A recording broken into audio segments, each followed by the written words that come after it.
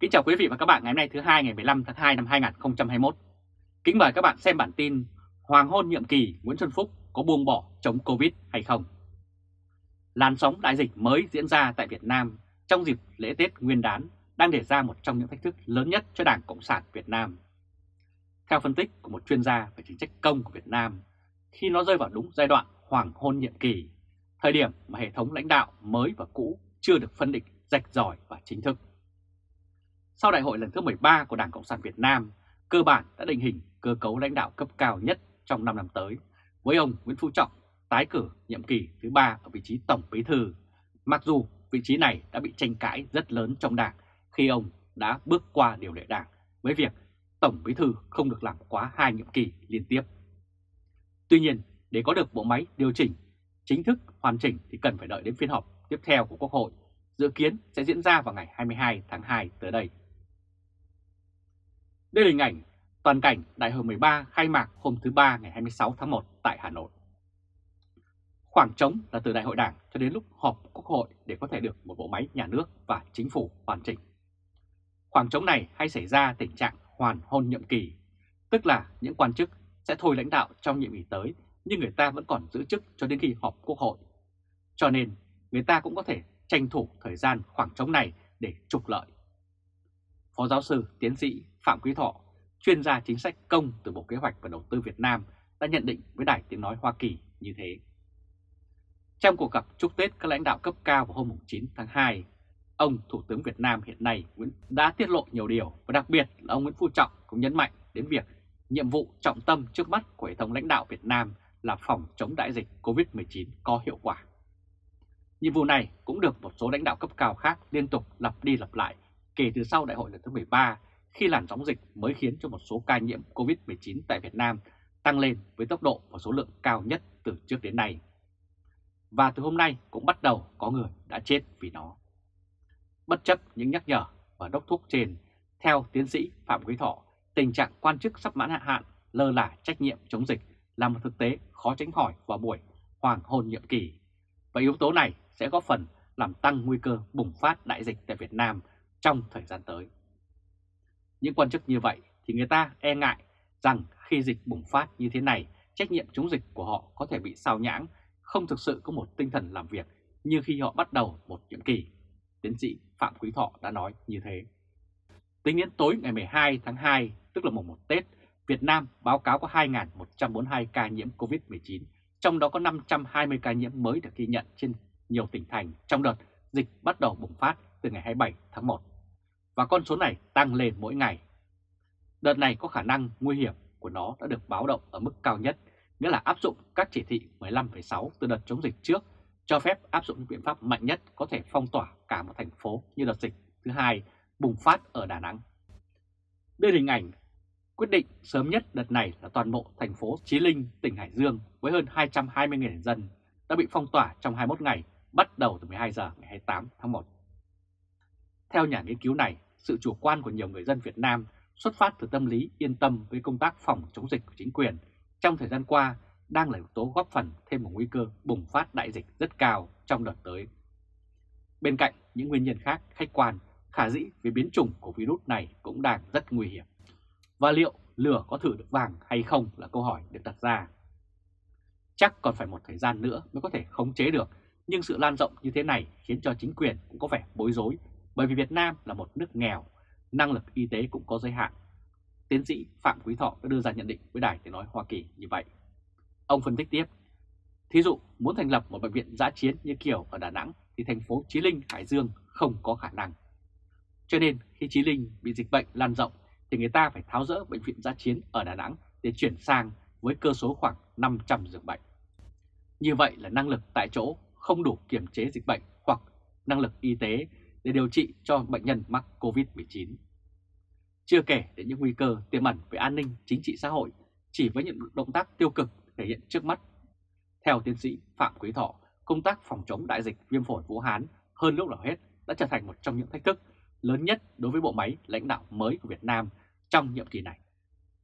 Tuy nhiên, với hình ảnh già nua và cũ kỹ của ông Tổng Bí thư Nguyễn Phú Trọng, đi đâu cũng phải có người dìu, thì tương lai không hề sáng sủa.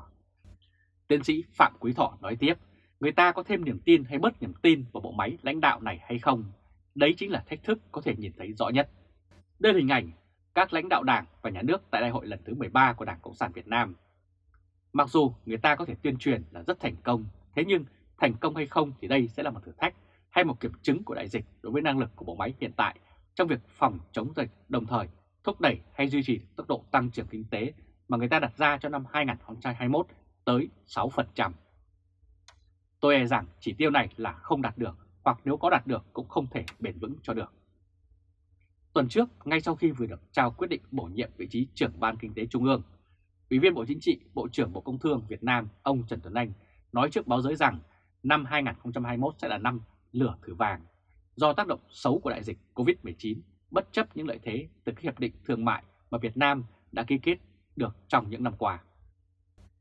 Trong khi đó, ông Thủ tướng Việt Nam Nguyễn Xuân Phúc tại cuộc họp với Ban chỉ đạo phòng chống dịch COVID-19 vào hôm 8 tháng 2 đã yêu cầu các quan chức phải huy động tổng lực thực hiện dập dịch triệt để, thần tốc khoanh vùng, truy vết, xét nghiệm trên diện rộng để nhanh chóng kiểm soát tình hình.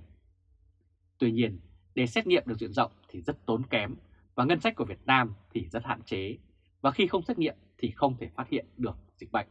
Và chính vì vậy, nhiều lý do vì sao từ trước đến nay Việt Nam vẫn thường giải thích là không có dịch. Và dập tắt đợt đại dịch COVID-19 bùng phát ngay trước Tết Nguyên đán Tân Sửu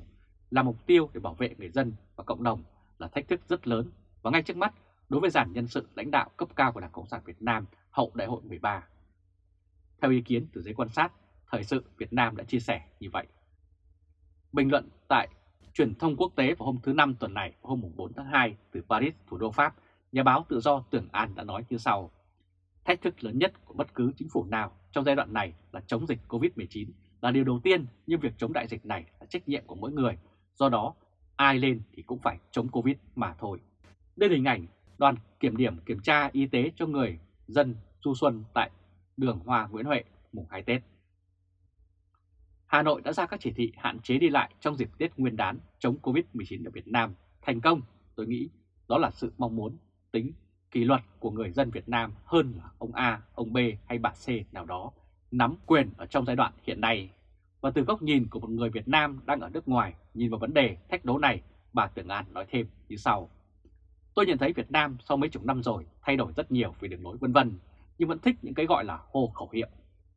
Thí dụ có ý kiến từ diễn giả tại hội luận BBC nhắc đến những câu nói chuyện như quyết tâm chống dịch rồi lăn xả vào công việc chống dịch vân vân.